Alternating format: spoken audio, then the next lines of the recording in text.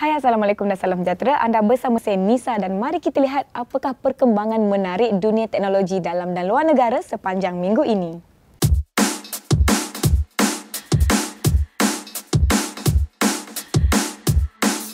Pada minggu ini, pihak Canonical secara rasminya telah melancarkan Ubuntu 14.04 yang mana membawakan sokongan selama 5 tahun untuknya.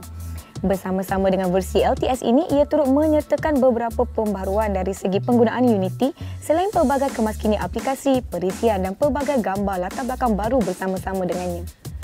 Turut menjadi fokus utama pada minggu ini adalah acara pelancaran peranti baru yang diadakan oleh Asus.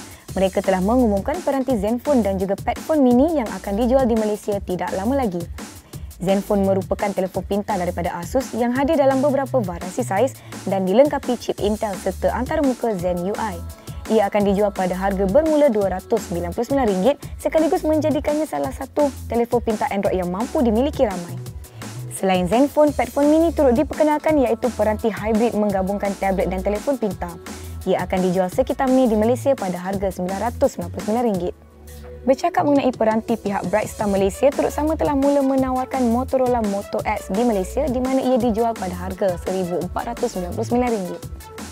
Selain daripada pengenalan peranti baru pada minggu ini juga pihak Microsoft telah memperkenalkan Windows Phone 8.1 kepada para pembangun membolehkan mereka menguji dan mencuba platform mudah alih terbaru tersebut di peranti masing-masing sebelum ia mula ditawarkan secara rasmi kepada semua pengguna. Antara fungsi baru yang menjadi fokus di Windows Phone 8.1 adalah termasuk pusat notifikasi dan juga sokongan bantuan maya Cortana.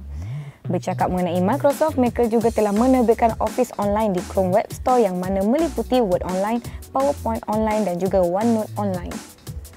Google pula tidak ketinggalan pada minggu ini di mana mereka telah menerbitkan beberapa aplikasi baru di Play Store termasuk Google Camera yang menyertakan fungsi lens blur dan juga Chrome Remote Desktop untuk Android yang membolehkan pengguna mengawal komputer mereka menggunakan tablet atau telefon pintar.